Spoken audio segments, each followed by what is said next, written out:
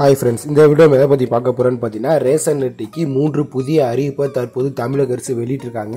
So என்னென்ன அறிவிப்புகள் எல்லாமே வெளியிட்டிருக்காங்க அப்படின்னு ப்ரீஃபாக பார்க்கலாம். ஸோ இது போன்ற தமிழக அரசு சொல்கிற அறிவிப்புகள்லாம் நீங்கள் தெரிஞ்சுக்கணும் அப்படின்னா மக்கள் நம்ம சேனலை சப்ஸ்கிரைப் பண்ணிக்கோங்க. அப்படியே பக்கத்தில் பெல் ஐக்கன் கிளிக் பண்ணிக்கோங்க.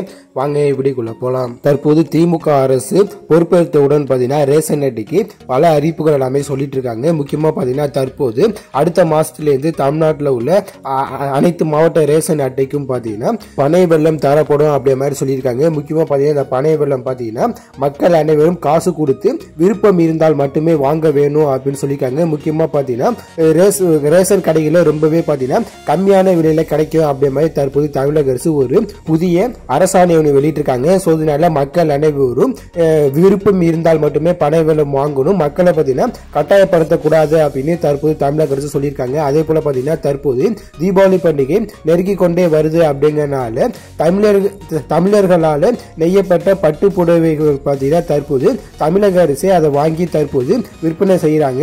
இதற்கான ஒரு புதிய செயலியும் பார்த்தீங்கன்னா மு க ஸ்டாலின் அவர்கள் தற்போது தொடங்கி வச்சிருக்காரு. அந்த அந்த செயலியை பயன்படுத்தி தமிழர்களால் நெய்யப்பட்ட பட்டு புடவைகள் ரொம்பவே கம்மியான விலையில் வாங்கிக்கலாம் அப்படின்னு தற்போது தமிழக அரசு சொல்லியிருக்காங்க. முக்கியமாக பார்த்தீங்கன்னா ரொம்பவே டிசைன் டிசைனாக ரொம்பவே பார்த்தீங்கன்னா சூப்பராக இருக்குது அப்படின்ற மாதிரி சொல்கிறாங்க ஸோ இதனால தமிழக அரசு வெப்சைட்டில் போல இப்போ போயும் நீங்க பார்த்தீங்கன்னா ஆர்டர் செய்யலாம் அப்படின்னு தற்போது தமிழக அரசு சொல்லியிருக்காங்க.